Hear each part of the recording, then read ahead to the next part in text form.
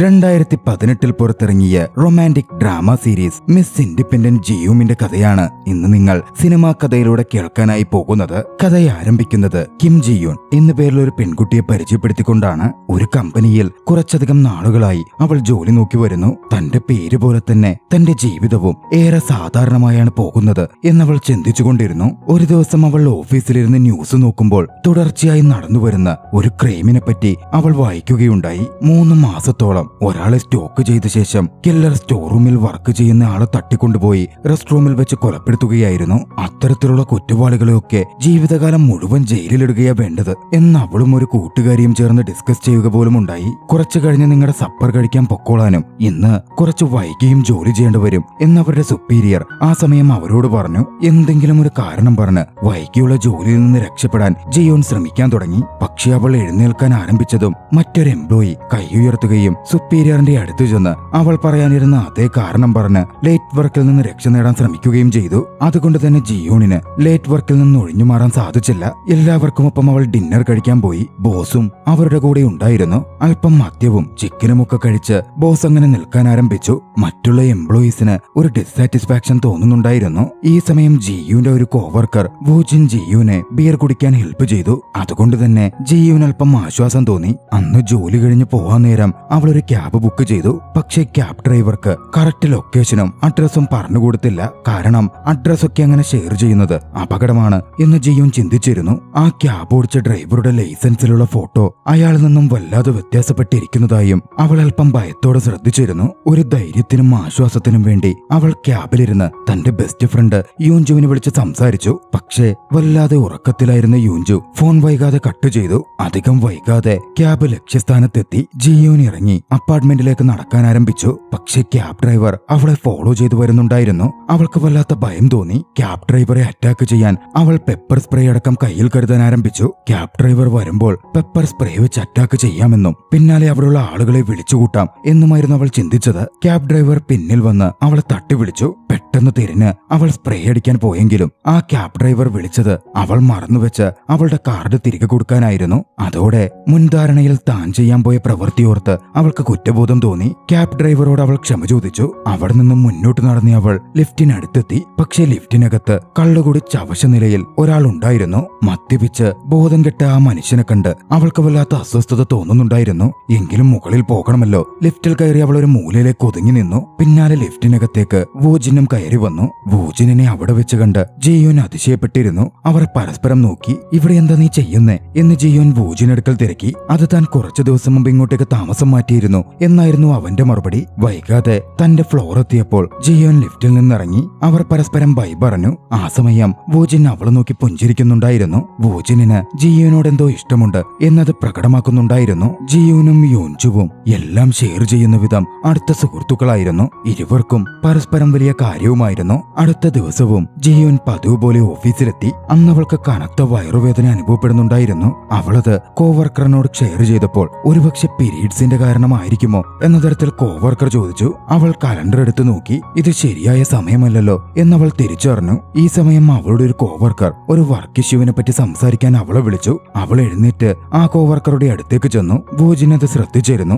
Woojin ഉടനടി തന്റെ ഓവർകോട്ടുമായി ജിയോനിന് അടുത്തെത്തുകയും അത് കൊടുത്ത ശേഷം നീ റെസ്റ്റ് റൂമിൽ പോയിട്ട് വാ എന്നവളോട് പറയുകയും ചെയ്തു. അവൾക്കതിൽ വല്ലാത്ത അതിശയം തോന്നി. എന്തുകൊണ്ടാ വൂജിൻ അത്തരത്തിൽ പ്രവർത്തിക്കുന്നത്? എന്നവൾക്ക് മനസ്സിലായിരുന്നില്ല. എന്നിരുന്നാലും അവൾ റെസ്റ്റ് റൂമിലെത്തി നോക്കുമ്പോൾ അവളുടെ പാൻറിൽ ചെറിയ ബ്ലഡ് സ്റ്റെയിൻ ഉണ്ടായിരുന്നു. വൂജിൻ അത് കണ്ടിട്ടാണ് തന്റെ അടുക്കൽ വന്ന് അങ്ങനെ പറഞ്ഞത് എന്ന് മനസ്സിലാക്കിയ ജിയുന് ആകെ വല്ലായ്മ തോന്നി. ഭാഗ്യവശാൽ അവളുടെ ബാഗിൽ ഒരു പെയർ വസ്ത്രങ്ങൾ ഉണ്ടായിരുന്നു. തന്റെ കോവർക്കറിനെ വിളിച്ച് ബാഗ് കൊണ്ടുവന്ന് തരാൻ പറഞ്ഞ അവൾ റെസ്റ്റ് റൂമിൽ നിന്ന് തന്നെ ചേഞ്ച് ചെയ്തു. പക്ഷേ എന്നിരുന്നാലും വൂജിന്റെ കോട്ട് തിരികെ കൊടുക്കാൻ അവൾക്ക് വല്ലാത്ത നാണക്കേടും അസ്വസ്ഥതയും തോന്നുന്നുണ്ടായിരുന്നു. വൂജിനെ ഫേസ് ചെയ്യാൻ ഒരു മടി പോലെ പിന്നാലെ തന്റെ സ്ഥാനത്തേക്ക് തിരികെയെത്തിയ ജിയുൻ ജോലി പുനരാരംഭിച്ചു പക്ഷേ വയറുവേദന അവളെ വല്ലാതെ ബുദ്ധിമുട്ടിക്കുന്നുണ്ടായിരുന്നു. വൂജിൻ ഇതൊക്കെ നോട്ടീസ് ചെയ്തു. പിന്നാലെ എഴുന്നേറ്റ് പോയ അവൻ ഒരു കപ്പ് കോഫി ഉണ്ടാക്കി അവൾക്ക് കൊണ്ടുവന്നു കൊടുത്തു. അന്ന് വൈകുന്നേരം ജോലി കഴിഞ്ഞ് പോകുമ്പോൾ ജിയോൻ വൂജിന്റെ കോട്ട് തിരികെ കൊടുക്കാൻ അവൻ അടുത്തെത്തി. ചെയ്തു തന്ന എല്ലാ ഉപകാരങ്ങൾക്കും അവനോട് നന്ദി പറയുകയും ചെയ്തു. അന്ന് തിരികെ അപ്പാർട്ട്മെന്റിലെത്തിയ ജിയോൻ യൂൻജുവിനടുക്കൽ വൂജിൻ ചെയ്തു തന്ന കാര്യങ്ങളെപ്പറ്റിയും സഹായത്തെപ്പറ്റിയും ഒക്കെ വിശദമായി പറഞ്ഞു. അവന് നിന്നോട് പ്രണയ താല്പര്യമുണ്ടെന്നാ തോന്നുന്നേ. എന്നായിരുന്നു അതൊക്കെ കേട്ട് യൂൻജുവിന്റെ മറുപടി. ഏയ് അങ്ങനൊന്നുമില്ലെന്നും അവൻ എല്ലാവരെയും ഇതേപോലെ കെയർ ചെയ്യാറുണ്ട്. അതവന്റെ സ്വഭാവമാ എന്നായിരുന്നു ജിയൂൻ പറഞ്ഞത്. പെൺകുട്ടികൾ തമ്മിലുള്ള റിലേഷൻഷിപ്പിനുള്ളിൽ എപ്പോഴും ഓരോ കോംപ്ലിക്കേഷൻസിനുള്ള സാധ്യതകൾ ഉണ്ടെന്നും പക്ഷേ എന്തൊക്കെയാണെങ്കിലും ചില കാര്യങ്ങൾ മനസ്സിലാക്കാൻ ഒരു പെൺസുഹൃത്തിന് മാത്രമേ സാധിക്കുള്ളൂ എന്നും ആ സമയം ജിയൂൻ ചിന്തിച്ചു. വൈകാതെ നമ്മൾ പുതിയൊരു ക്യാരക്ടറിനെ പരിചയപ്പെടുന്നു. ജിയോന്റെ കോവർക്കറായ ജങ്ങിന എന്നു പേരുള്ള ഒരു പെൺകുട്ടിയാണത്. ജിയോനേക്കാൾ മൂത്തയാളാണെങ്കിലും ജോലിക്കാര്യത്തിൽ അവർ ജിയോന്റെ ജൂനിയറാണ് ഇനിയൊട്ടും കൂട്ടുകൂടാത്തതും അടുത്തിടപഴകാത്തതും ജിയുവിന്റെ അടുക്കൽ മാത്രമായിരുന്നു ആദ്യമായി ഇരുവരും കണ്ട സമയത്ത്. ഇനി ജിയുവിനടുക്കൽ വളരെ നോർമലായി സാധാ പോലെ സംസാരിച്ചുകൂടെ എന്ന് ജിയുവിനോട് ചോദിച്ചിരുന്നു. പക്ഷെ ജോലി സ്ഥലത്ത് പ്രൊഫഷണൽ രീതിയിൽ വേണം ഇടപഴകാൻ എന്നായിരുന്നു ജിയുവും പറഞ്ഞത്. ഓഫീസിൽ താൻ സീനിയർ ആയതുകൊണ്ട് തന്നെ അതിനനുസരിച്ച് അഭിസംബോധന ചെയ്യണം എന്നും ജിയുൻ ഇനയോട് ആവശ്യപ്പെടുകയും ചെയ്തു. അന്നു മുതൽ അവർ തമ്മിൽ ശത്രുതയൊന്നുമില്ലെങ്കിലും സൗഹൃദവും ഉണ്ടായിരുന്നില്ല. അന്ന് ഓഫീസിൽ ഒരു മീറ്റിംഗ് ഉണ്ടായിരുന്നു. ബോസ്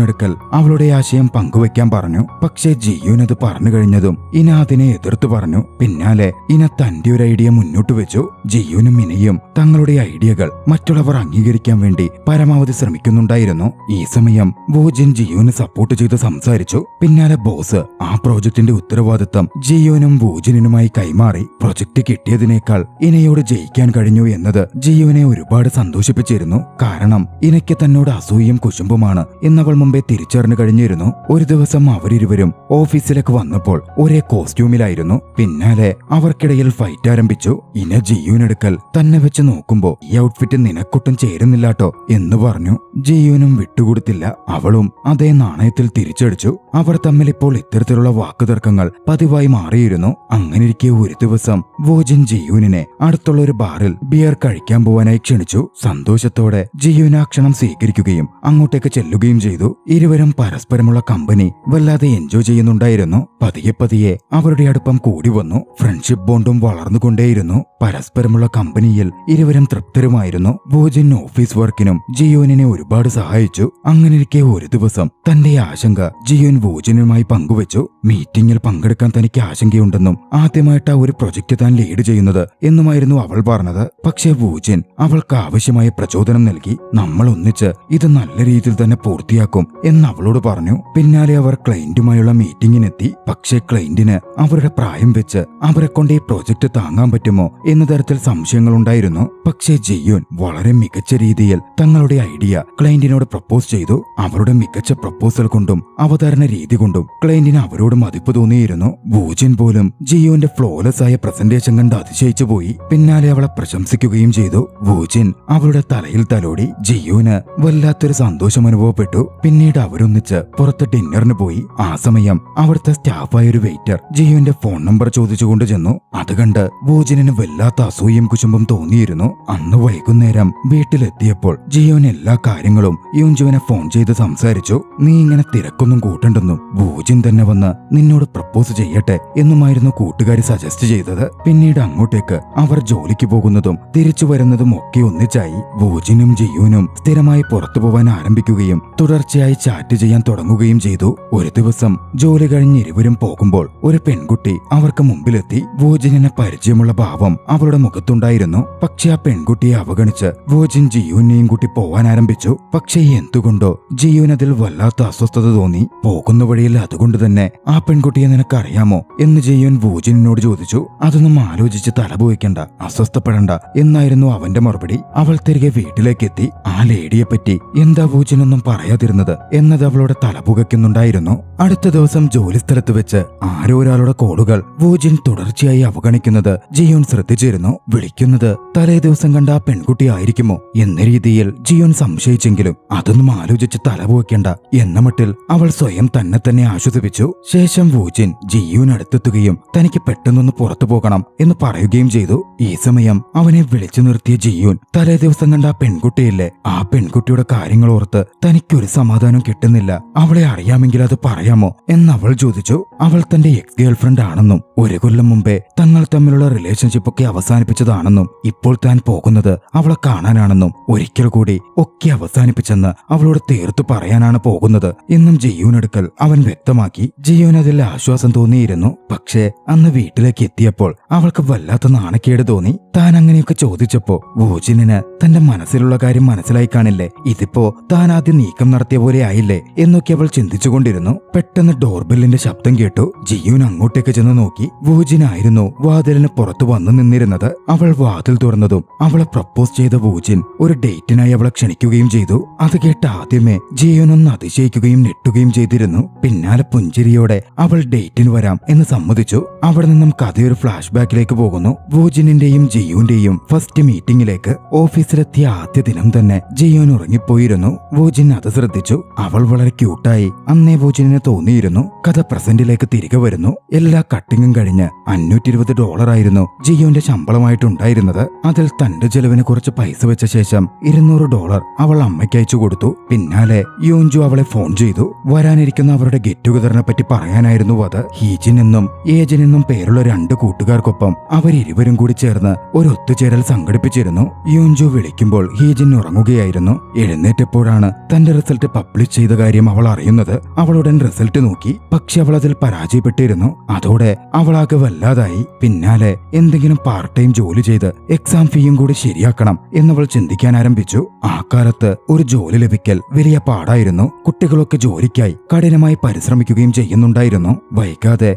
ജിയോനും കൂട്ടുകാരും യോഞ്ചുവിന്റെ ബ്യൂട്ടി സ്റ്റോറിൽ വെച്ച് കണ്ടുമുട്ടി അവരെല്ലാവരും ഒന്നിച്ച് ജിയോന്റെ ബോയ്ഫ്രണ്ടിനെ പറ്റി ഗോസിപ്പ് പറയാനും മറ്റും ആരംഭിച്ചിരുന്നു. തൊട്ടു പിന്നാലെ ജിയോന് ബോസിന്റെ അടുത്ത് നിന്ന് മെസ്സേജ് വന്നു. എത്രയും പെട്ടെന്ന് പ്രൊജക്ട് റിപ്പോർട്ട് സബ്മിറ്റ് ചെയ്യണം എന്ന് പറഞ്ഞായിരുന്നു അത്. അത് കണ്ടതും അവൾ വല്ലാതെ പാനിക്കായി. കാരണം അവൾ ഇതുവരെ വർക്ക് കംപ്ലീറ്റ് ചെയ്തിരുന്നില്ല. വൈകാതെ തനിക്ക് വേണ്ടി ബൂജിൻ ആ ഫയലൊക്കെ സബ്മിറ്റ് ചെയ്തോളാം എന്ന് പറഞ്ഞ വിവരം അറിഞ്ഞ് ജിയോന് ആശ്വാസം തോന്നി. ഈ സമയം ഒരു കസ്റ്റമർ അങ്ങോട്ടേക്ക് കയറി വന്നു. തന്റെ നഖത്തിന്റെ ബ്യൂട്ടി വർക്ക് യൂഞ്ചു ഉടൻ ചെയ്തു തരണം എന്ന് പറഞ്ഞായിരുന്നു വരവ്. ഇന്നത്തേക്ക് സ്റ്റോർ അടച്ചിരിക്കുകയാണെന്നും നാളത്തേക്ക് വരാമോ എന്നും യുഞ്ചു കസ്റ്റമറോട് ചോദിച്ചു. പക്ഷേ കസ്റ്റമർ ദേഷ്യപ്പെടുകയും ഇന്ന് തന്നെ തനിക്ക് ചെയ്തു തരണം എന്ന് പറഞ്ഞ് വഴക്കിടാൻ ആരംഭിക്കുകയും ഉണ്ടായി. അത് കണ്ടതും ജിയോൻ പ്രശ്നത്തിൽ ഇടപെട്ടു. യുഞ്ചുവിനെ സപ്പോർട്ട് ചെയ്ത് സംസാരിച്ച ജിയോൻ കസ്റ്റമറിന് തക്കതായ മറുപടി കൊടുത്ത് അവരെ അവിടെ നിന്ന് പറഞ്ഞു വിട്ടു അന്ന് അവരൊന്നിച്ച് ഏറെ നേരം സന്തോഷത്തോടെ സമയം ചെലവഴിച്ചു. സുഹൃത്തുക്കൾക്ക് അത്രയും വലിയ സന്തോഷവും തോന്നുന്നുണ്ടായിരുന്നു. അന്നത്തെ മീറ്റിംഗ് ഒക്കെ കഴിഞ്ഞ് തിരികെ പോകുമ്പോൾ ജിയോൻ വൂജിനെ കണ്ടു. പിന്നീട് അവർ ഒന്നിച്ചായിരുന്നു. അപ്പാർട്ട്മെന്റിലേക്ക് യാത്ര തിരിച്ചത് ഒരു ദിവസം വൂജിനും ജിയുനും ഒന്നിച്ച് അപ്പാർട്ട്മെന്റിൽ സിനിമ കാണുകയായിരുന്നു. ആ സമയം പെട്ടെന്ന് മെസ്സേജ് ഒന്നുമില്ലാതെ അവന്റെ ഫ്രണ്ട്സ് കയറി വന്നു. വൂജിനിന് യൂനി എന്ന് പേരുള്ള ഒരു പെൺകുട്ടിയും ഫ്രണ്ടായിട്ടുണ്ട് എന്നത് ജിയൂനിനെ അസ്വസ്ഥപ്പെടുത്തി. പിന്നാലെ അവർ എല്ലാവരും ഒന്നിച്ചിരിക്കാനും ഡ്രിങ്ക്സ് കഴിക്കാനും ആരംഭിച്ചു. ഈ സമയം ജിയൂനാകട്ടെ ഓരോന്ന് ചിന്തിക്കാൻ ആരംഭിച്ചു. രണ്ടു തരം ഫീമെയിൽ ഫ്രണ്ട്സ് ആണ് ഉണ്ടാവുന്നത്. ഒരു കൂട്ടർ ശരിക്കും ഫ്രണ്ട്സ് ആയിരിക്കും. ഒരു കൂട്ടരാകട്ടെ ഫ്രണ്ട്സ് ആണെന്ന് നടിക്കുന്നവരായിരിക്കും. ശരിക്കും ഇവൾ ആരായിരിക്കും? കൂടുതൽ പേരും സെക്കൻഡ് കാറ്റഗറിയിൽ പെടുന്നവരാ എന്നൊക്കെ ചെയ്യും ചിന്തിച്ചുകൊണ്ടേയിരുന്നു. സമയം കുറെ കടന്നുപോയി. ശേഷം കൂട്ടത്തിലൊരു സുഹൃത്ത് ഐസ്ക്രീം എടുക്കാനായി പോയി. വോപ്പിനും ഒപ്പം പോയിരുന്നു. ജിയോനും യൂനിയും തനിച്ചായി. ഇതാണ് അവസരം. യൂനി ആദ്യ കാറ്റഗറിയാണോ രണ്ടാം കാറ്റഗറിയാണോ എന്ന് മനസ്സിലാക്കണം. പിന്നാലെ നിനക്ക് ബോയ് ഫ്രണ്ട് ഉണ്ടോ? ഒരു പയ്യനെ ഞാൻ നിനക്ക് കാണിച്ചു തരട്ടെ. ഞാൻ നിന്നെ അതിന് സഹായിക്കാം എന്ന തരത്തിൽ അവൾ പറഞ്ഞപ്പോൾ യൂനി താല്പര്യം പ്രകടിപ്പിച്ചു. അതോടെ യൂനി ആദ്യ കാറ്റഗറിയാണ് കുഴപ്പമൊന്നുമില്ല എന്ന് ജിയോൻ ഉറപ്പിക്കുകയായിരുന്നു പിന്നീട് ഇരുവരും വളരെ കാഷ്വലായി അടുത്തിടപഴകി സംസാരിക്കാൻ ആരംഭിച്ചു. അവരുടെ ഇഷ്ടങ്ങളും അനിഷ്ടങ്ങളും ഒക്കെ അവർ പരസ്പരം ഷെയർ ചെയ്തു. വൂജിനെ പറ്റി തനിക്കറിയാവുന്ന എല്ലാം തന്നെ ജിയുനോട് പറയാം എന്നവൾ വാക്കുകൊടുക്കുകയും ചെയ്തു. ഒരു ദിവസം ജിയുനും വൂജിനും ഒന്നിച്ച് ഒരു ട്രിപ്പ് പോവാൻ പ്ലാൻ ചെയ്തു. നിനക്കിഷ്ടമുള്ള എങ്ങോട്ട് വേണമെങ്കിലും നമുക്ക് പോകാം എന്നായിരുന്നു വൂജിൻ പറഞ്ഞത്. പക്ഷേ ജിയുൻ ഒരു കോട്ടേജ് ബുക്ക് ചെയ്ത ശേഷം വൂജിന് വലിയ താല്പര്യമില്ലാത്ത പോലെ സന്തോഷമില്ലാത്ത പോലെ കാണപ്പെട്ടു. അടുത്ത ദിവസം യുഞ്ജുവിനെ കണ്ടപ്പോൾ അവൾ അക്കാര്യം അവളോട് ഡിസ്കസ് ചെയ്തു. അവനും ഇഷ്ടങ്ങളൊക്കെ ഉണ്ടാവാമെന്നും പക്ഷേ നിന്നെ കൂടുതൽ കാര്യമാക്കുന്നതുകൊണ്ട് അവനത് ഉള്ളിൽ തന്നെ വെച്ചിരിക്കുന്നതാവാം. അതാണ് ആ കോട്ടേജ് അങ്ങനെ ചെയ്തപ്പോ അവനത്ര താല്പര്യം വരാതിരുന്നതും സന്തോഷം തോന്നാതിരിക്കാനുള്ള കാരണവും എന്ന് യൂഞ്ചു അവളോടായി പറഞ്ഞു. പിന്നീട് ട്രിപ്പിന്റെ കാര്യം സെറ്റ് ചെയ്യാൻ യൂഞ്ചു അവളെ സഹായിച്ചു. ട്രിപ്പിൽ അവൾ ചെയ്യേണ്ട ഓരോ കാര്യങ്ങളും അവളെ പറഞ്ഞ് മനസ്സിലാക്കി കൊടുത്തു. ബോയ് ഫ്രണ്ടുമായി ഒരു ട്രിപ്പിന് പോകുന്ന കാര്യമൊക്കെ താൻ വിചാരിച്ചതിനേക്കാളും റിയലിസ്റ്റിക് ആണ് എന്നവൾ ആ നിമിഷം തിരിച്ചറിഞ്ഞു. പിന്നാലെ അവൾ ട്രിപ്പിന് വേണ്ട മുഴുവൻ കാര്യങ്ങളും നല്ല രീതിയിൽ ഓർഗനൈസ് ചെയ്തു. പിന്നാലെ അവർ ട്രിപ്പിനായി പുറപ്പെട്ടു. പകലിലെ മുഴുവൻ കറക്കവും കഴിഞ്ഞ് അവരൊന്നിച്ച് അവരുടെ ഹോട്ടൽ മുറിയിലെത്തി. ഒന്നിച്ചിരിക്കുമ്പോൾ വൂജിൻ ജിയുവിനോട് നന്ദി പറയാൻ ആരംഭിച്ചു. തനിക്ക് വേണ്ടി ഒക്കെ നല്ല രീതിയിൽ ചെയ്തു തന്നതിന് അവളോട് നന്ദിയുണ്ടെന്നും ഒന്നും ചെയ്യാതെ നിന്റെ കൂടെ നടക്കുമ്പോ തനിക്ക് സന്തോഷം തോന്നുന്നുണ്ട് എന്നും അവൻ അഭിപ്രായപ്പെട്ടു. എപ്പോഴും തന്നെ സപ്പോർട്ട് ചെയ്ത് നിൽക്കുന്നതിനും തനിക്ക് വേണ്ടതൊക്കെ ചെയ്തു തരുന്നതിനും ജിയോനും വോബിനോട് നന്ദി പറഞ്ഞു. അവരിരുവരും അന്ന് അവിടെ വെച്ച് ആദ്യമായി ചുംബിച്ചു. പിന്നീട് അവരിരുവരുടെയും ജീവിതം ഏറെ സന്തോഷത്തോടെ ഉറച്ച തീരുമാനത്തോടെ ഒന്നിച്ച് മുന്നോട്ട് പോയിക്കൊണ്ടേയിരുന്നു. ആത്മാർത്ഥമായി അവർ പ്രണയിച്ചുകൊണ്ടിരുന്നു. ജയോൻ ഒരു കൗൺസിലറായി മാറി. തന്റെ തന്നെ ജീവിതം വെച്ച് അവൾ എല്ലാവരെയും ഉപദേശിച്ചു. നിങ്ങളുടെ ജീവിതത്തിൽ നിങ്ങൾ എത്ര തന്നെ സാധാരണക്കാരനാണ് എന്ന് ചിന്തിച്ചാലും ആവശ്യമുള്ളതൊക്കെ സംഭവിക്കുക തന്നെ ചെയ്യുമെന്നും അത്തരത്തിൽ എന്നെപ്പോലുള്ള എല്ലാ ജീവനെയും താൻ സഹായിക്കും എന്നും അവൾ പറഞ്ഞു. സന്തോഷകരമായി ജിയുവിന്റെ ജീവിതം തുടർന്നുകൊണ്ടേയിരിക്കുന്നു. ആ ദൃശ്യങ്ങളോടെ സീരീസ് അവസാനിക്കുകയാണ്. നിങ്ങൾക്ക് ഈ കഥ ഇഷ്ടമായെങ്കിൽ വീഡിയോ ലൈക്ക് ചെയ്യുക അഭിപ്രായങ്ങളും നിർദ്ദേശങ്ങളും കമന്റുകളിൽ രേഖപ്പെടുത്തുക. കഴിയുമെങ്കിൽ ചാനൽ സബ്സ്ക്രൈബ് ചെയ്തും കൂട്ടുകാർക്ക് ഷെയർ ചെയ്തു കൊടുത്തും ഞങ്ങളെ സപ്പോർട്ട് ചെയ്യുക. അടുത്ത എപ്പിസോഡിൽ മറ്റൊരു മികച്ച ചലച്ചിത്രവുമായി നമുക്ക് കണ്ടുമുട്ടാം. അതുവരെ ബായ്